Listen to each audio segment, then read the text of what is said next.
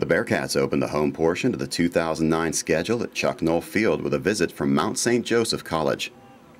Zach Wilfong scored the day's first goal just four minutes into play, assisted by Will Delanoy, and it was a sign of things to come for St. Vincent. Delanoy then scored three goals over the next 90 seconds to give SVC a 4-0 lead with eight minutes remaining in the first quarter.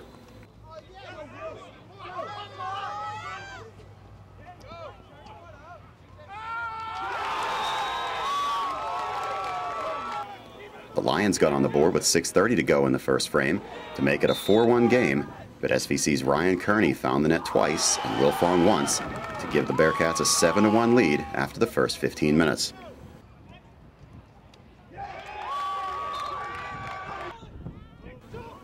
The second quarter featured a flurry of scoring activity from both sides as Kearney, Lou Fries, Pat Bursch, and Vincenzo DeSantis all scored in the first three minutes to increase the Bearcat lead to 11 to 2.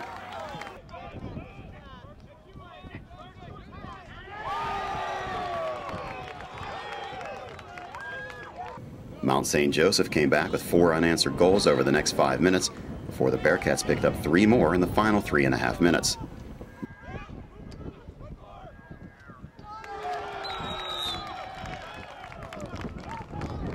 Delanoy, Wilfong, and Neil Quinn all found the net to put SVC up 14 to 6.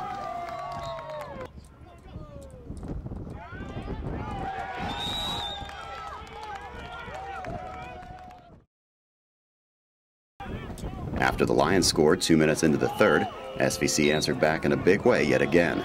Bursch and Jake Dick scored for the Bearcats in the next two minutes.